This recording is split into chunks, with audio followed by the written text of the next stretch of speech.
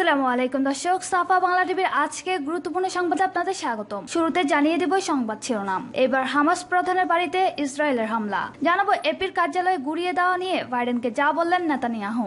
এদিকে কি কারণে ফিলিস্তিনিদের পক্ষে সংঘতি সৌদি সহ কয়েকটি আরব দেশের? সব শেষ থাকছে, ভারতের দিকে ধেয়ে আসছে মহাশক্তিশালী ঘূর্ণিঝড়। সবগুলো খবর জানতে ভিডিওটি শেষ পর্যন্ত দেখুন। ভিডিওটি আপনার বন্ধুদের মাঝে শেয়ার করে দিন। ভালো লাগলে অবশ্যই কমেন্ট করে জানাবেন এবং একটি লাইক দিবেন। দেশ বিদেশে সকল সংবাদ সবার আগে পেতে আমার চ্যানেলটি সাবস্ক্রাইব করে রাখুন। এবার ইসরায়েলের লক্ষ্যবস্তুতে পরিণত হলো ফিলিস্তিনের ইসলামী প্রতিরোধ আন্দোলন হামাস প্রধানের বাড়ি। হামাসের আলাক্সার টেলিভিশনের এক খবর নিশ্চিত করা হয়েছে যে, গাজার হামাস প্রধান ইয়াহিয়া আল সিনোয়ারের বাড়িতে হামলা চালিয়েছে ইসরায়েল। ইয়াহিয়া আল সিনোয়ার দুই হাজার সতেরো সাল থেকে গাজায় হামাসের রাজনৈতিক ও সামরিক শাখার নেতৃত্ব দিয়ে আসছেন। তবে হামলায় এই নেতার কোনো ক্ষতি হয়েছে কিনা বা তিনি হামলার সময় বাড়িতে অবস্থান করছিলেন কিনা তা নিশ্চিত করা হয়নি। গত এক সপ্তাহ গাজা উপত্যকা ইসরায়েলি হামলায় কমপক্ষে একশো উনপঞ্চাশ ফিলিস্তিনির মৃত্যু হয়েছে।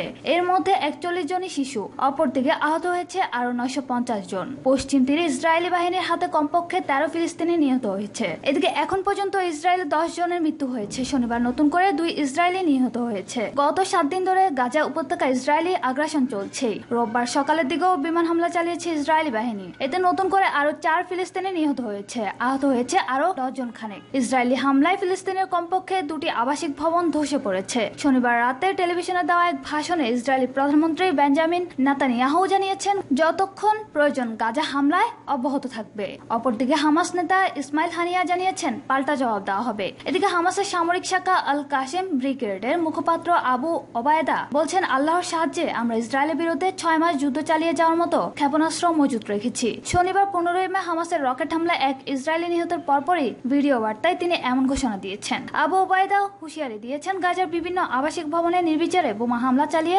ফিলিস্তিনি নাগরিকদের হত্যার প্রতিশোধ হিসেবে ইসরায়েলের জন্য শীঘ্রই ভয়াবহ পরিণত অপেক্ষা করছে।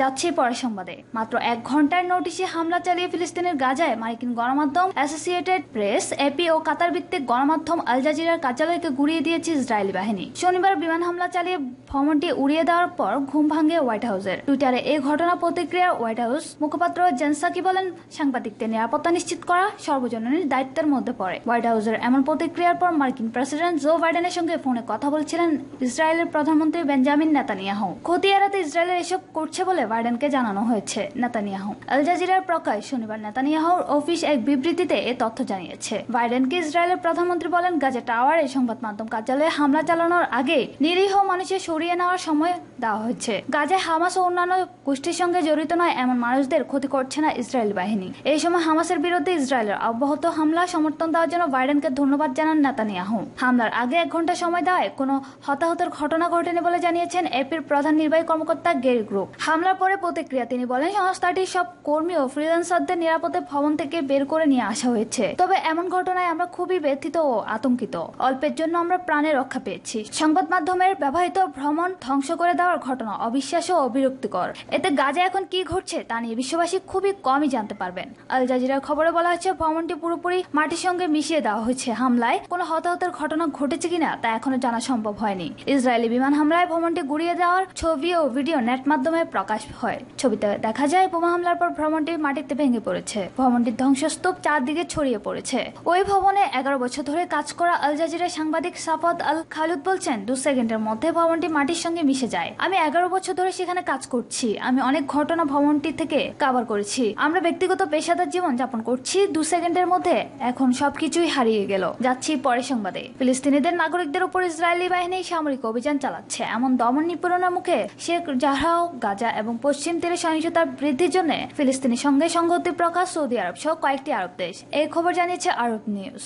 সৌদি রাষ্ট্রীয় বার্তা সংস্থা এএসপি জানিয়েছে, সৌদি আরব, ফিলিস্তিনি ও ইসরায়েলের পরিস্থিতি নিয়ে জাতিসংঘের আরব গ্রুপের বৈঠকে নেতৃত্ব দিচ্ছে। জাতিসংঘের সৌদি আরবের স্থায়ী প্রতিনিধি Abdullah Yahya Al Mouallimi Israeli হামলার কথা তুলে ধরে জাতিসংঘের সাধারণ পরিষদের প্রেসিডেন্ট ভোলগান বোসকবির সঙ্গে সাক্ষাৎ করেছেন। এছাড়া আল মোলালিমি জাতিসংঘের চীনের স্থায়ী প্রতিনিধির সঙ্গে সাক্ষাৎ করেছেন। এদিকে সংযুক্ত আরব আমিরাত ইসরায়েল ও ফিলিস্তিনের মধ্যে ক্রমবর্ধমান সহিংসতা নিয়ে উদ্বেগ প্রকাশ করেছে। দেশটির পররাষ্ট্র ও আন্তর্জাতিক সহযোগিতা মন্ত্রী আবদুল্লাহ বিন জায়দ আল নাহিয়ান বলেন, সংযুক্ত আরব আমিরাত, ইসরায়েল ও ফিলিস্তিনের ক্রমবর্ধমান সহিংসতা নিয়ে উদ্বেগ। আমরা এই লড়াইয়ের ক্ষতিগ্রস্তদের প্রতি সমবেদনা জানাই এবং সহিংসতা বন্ধ করার জন্য দুপক্ষকে আহ্বান জানাচ্ছি। ইরাকের প্রধানমন্ত্রী মোস্তফা আল কাদিমি ফিলিস্তিনি জনগণের নিজস্ব রাষ্ট্র প্রতিষ্ঠার অধিকারও নিশ্চিত করার উপর জোর দিয়েছেন। এছাড়া, তিউনেশিয়ার প্রেসিডেন্ট ফিলিস্তিনিদের শান্তির অধিকার এবং স্বাধীন রাষ্ট্র সমর্থন করে একটি বিবৃতি দিয়েছেন। তিউনেশিয়ার রাষ্ট্রীয় সংস্থা টিএপি জানিয়েছে, দেশটির প্রেসিডেন্ট ফিলিস্তিনের পবিত্র স্থানগুলোতে ইসরায়েলের উস্কানিমূলক হামলার নিন্দা ও প্রতিবাদ জানিয়েছে। টানা ষষ্ঠ দিনের মতো ইসরায়েলি হামলায় এ পর্যন্ত একশো চল্লিশ জন ফিলিস্তিনি নিহত হয়েছেন। এছাড়া হামলায় আহত হয়েছেন হাজারও বেশি মানুষ। পাশাপাশি বহু ফিলিস্তিনিকে গ্রেপ্তার করা হয়েছে। এর মধ্যে শনিবার তেরো ফিলিস্তিনিকে হত্যা করছে ইসরায়েল। এর মধ্যে এক পরিবারের দশ সদস্য রয়েছে, যাদের আটজন শিশু ও দুজন নারী। অপরদিকে হামাসের রকেট হামলায় এ পর্যন্ত নয় জন ইসরায়েলি নিহত হয়েছেন। এর মধ্যে একজন সেনাবাহিনীর সদস্য রয়েছে। যাচ্ছি পরের সংবাদে। ভারতের গুজরাটের দিকে ধেয়ে আসছে মহাশক্তিশালী ঘূর্ণিঝড় তাওটে। দেশটির আবহাওয়া অধিদপ্তরের বরাদ দিয়ে তথ্য জানিয়েছে হিন্দুস্তান টাইমস। খবরে বলা হয়, আগামী বারো থেকে পনেরো ঘণ্টার মধ্যে গতি বাড়িয়ে তাওটে একশো পঁয়তাল্লিশ কিলোমিটার প্রতি ঘণ্টা বেগ ধারণ করবে। বর্তমানে এটি একশো বিশ থেকে একশো তিরিশ কিলোমিটার প্রতি ঘণ্টার বেগে ধেয়ে আসছে। পূর্বাভাস অনুযায়ী যদি টাউটে গতি বাড়ায়, তাহলে এটি গুজরাটের উপকূলে পৌঁছাবে আঠারোই মে দুপুরে। জানা গিয়েছে, পোরবন্দরের পাশ দিয়ে ঘূর্ণিঝড়টি যেতে পারে। আঠারো মে দুপুরে তাউটে সুপার সাইক্লোন পরিণত হয়ে আশ্রে পড়তে পারে ভারতীয় ভূখণ্ডে। আঠারো মে তাউটে একশো ষাট থেকে একশো পঁচাত্তর কিলোমিটার প্রতি ঘণ্টার গতি ধারণ করতে পারে। এই আবহে ইতিমধ্যে ভারতের পশ্চিম উপকূলীয়বর্তী পাঁচ রাজ্যে জারি করা হয়েছে সতর্কতা। হিন্দুস্তান টাইমস জানায়, ইতিমধ্যে কেরল, গোয়া, কর্ণাটক, মহারাষ্ট্র ও গুজরাটের উপকূলীয়বর্তী অঞ্চলে লাল সতর্কতা জারি করা হয়। জানা গিয়েছে, এর আগে তাউটের পথ অনুসরণ করে উনিশশো তেত্রিশ থেকে উনিশশো পঁচাত্তর সালে দুটি ঘূর্ণিঝড় আশ্রয় পড়েছিল গুজরাটে। উনিশশো পঁচাত্তর সালের ঘূর্ণিঝড়ে গুজরাটে প্রাণ হারিয়েছিল চার হাজার মানুষ। এই আবহে তাউটের জেরে ক্ষয়ক্ষতি যাতে বেশি না হয়, তার জন্য উচ্চ পর্যায়ে বৈঠক হয়েছে। তৈরি রাখা হয়েছে জাতীয় পর্যায়ে মোকাবেলা বাহিনীর তিপ্পান্নটি দলকে। শুক্রবার রাতে তাউটের লাক্ষাদ্বীপ এবং আরব সাগরের পূর্ব মধ্য ও দক্ষিণ পূর্ব এলাকায় অবস্থান করছিল। অর্থাৎ এটি কেরালার কান্নুরের থেকে পশ্চিম উত্তর পশ্চিমে দুশো পঞ্চাশ কিলোমিটার গুজরাটের ফেরাবলের দক্ষিণ ও দক্ষিণ পূর্বে এক হাজার দশ কিলোমিটার দূরে অবস্থিত। এই আবহে সমুদ্র উত্তাল থাকায় আগামী মঙ্গলবার পর্যন্ত মৎস্যজীবীদের আরব সাগরে যেতে নিষেধ করা হয়েছে। চলে যাচ্ছি পরের সংবাদে। ফিলিস্তিনিদের গাজা, জেরুজালেম ও পশ্চিম তীরে শিশু ও নারী সহ বেসামরিক লোকজনের উপর বর্বরচিত হামলার প্রতিবাদে লাখো বিক্ষোভকারী যুক্তরাজ্যের রাজধানী লন্ডনে ইসরায়েলি দূতাবাস ঘেরাও করেছেন। এই সময় তাদের হাতে ছিল স্টাফ বম্বিং গাজা ও ফ্রি প্যালেস্টাইন এই ধরনের লেখা সম্বলিত প্ল্যাকার্ড।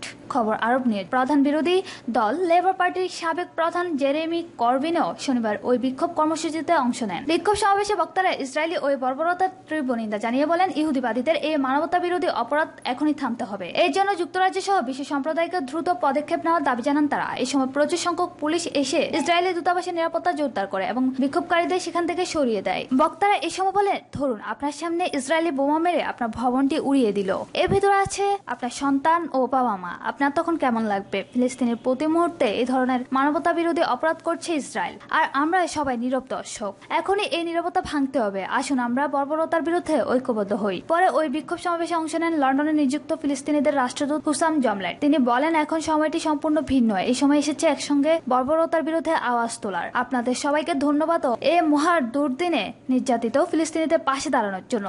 বিক্ষোভ সমাবেশটি যৌথভাবে আয়োজন করে friends of Al Aqsa Palestinian forum of Britain sport the war coalition campaign for nuclear disarmament O Muslim association of Britain উল্লেখ্য, গত দশ থেকে গাজা সহ ফিলিস্তিনি ইসরায়েলের নির্বিচারে বোমা হামলায় একত্রিশ শিশু সহ দেড় শতাধিক ফিলিস্তিনি নিহত হয়েছেন। অন্যদিকে হামাসের পাল্টা রকেট হামলায় ইসরায়েলের এক সেনা সদস্য প্রাণ হারিয়েছেন আটজন।